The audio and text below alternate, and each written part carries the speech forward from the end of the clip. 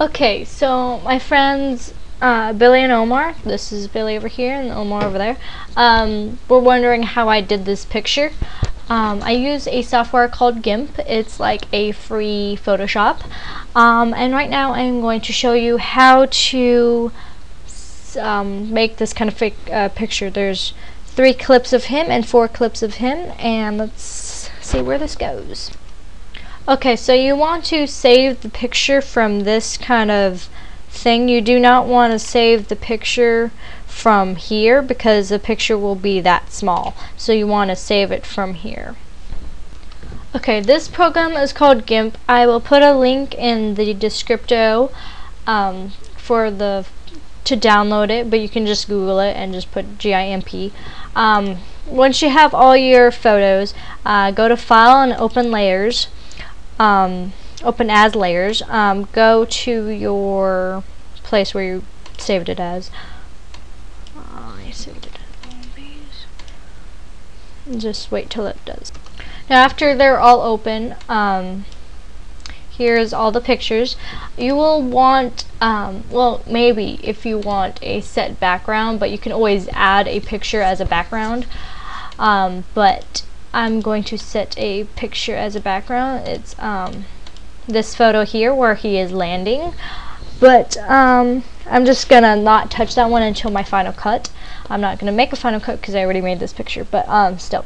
So there's like these eyes right here where you can view it. Um, but to erase, you want to erase the outside of the the person's body, and then with this um,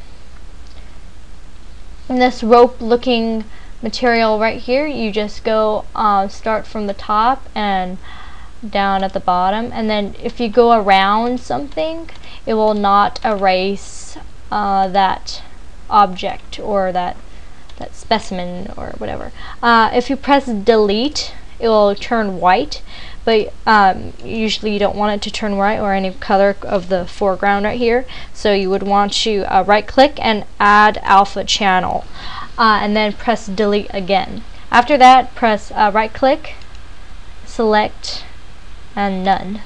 Um, after that, uh, you do that multiple times Okay, and then finally you get to a place like this um, where it has all the pictures of the different layers. Um, but afterwards you want to like do one by one. So I'm just gonna I'm gonna do this one. Um, you want to erase like mostly everything around that. Uh, so get your erase thing and just maximize the the out so wait. If it's not on the layer um, you have to highlight the exact layer you're on so it doesn't um, erase the other layer. And then just erase all of that around there. Do, do, do, do, do, and then erase around him if you want. Blah blah blah blah blah. Okay and then once you're close to the body or whatever you're doing on um, you should get a soft a soft brush and uh, zoom in. You can zoom in by this button over here. Um, and I would go to 200 and you'll get this and then just put the, the, the size of the brush down and then you just go along the ridge of the body or whatever you're you know whatever you're doing and you want to do that multiple times on um, each each picture you're doing Alpha, the alpha channel is a transparency channel, so uh, it's invisible. The the black and white check, uh, the gray and white checker, the gray and gray checkers are um, transparency. Okay, here is the um, I erased the background. It's not a very good um, cut, but um, it's just an example. Uh, so there's one picture. Uh huh. I'm going to delete that one because it's messed up. And so you do that for multiple times. Um, to make this quicker, I'm just going to delete that one.